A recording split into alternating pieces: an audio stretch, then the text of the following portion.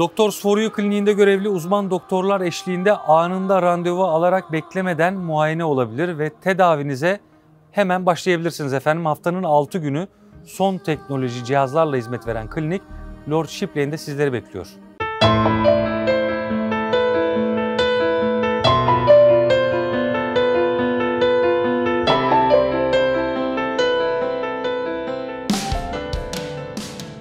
Nice to meet you. My name is Dr. Georgieva and I'm a pediatrician in First Bulgarian Clinic in London, Doctors 4 You. Today I'd like to speak about new poliomyelite booster. A lot of uh, parents ask uh, why my child have to do this uh, poliomyelite uh, booster again and uh, I try to answer these uh, parents.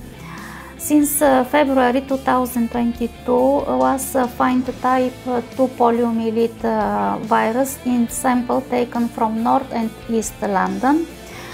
Uh, this suggests that virus is now spreading um, between uh, people, give case with poliomyelite paralysis, which is in vaccinated individuals.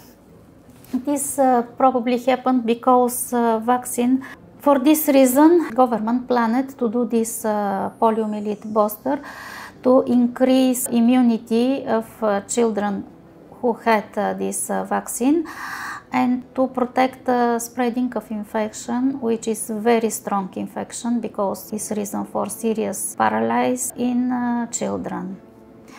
This uh, booster uh, is uh, recommended for children between 1 year and 9 years old. If parents have more questions about this vaccination or any other questions about the child condition, child's problem, you can come here and we can help.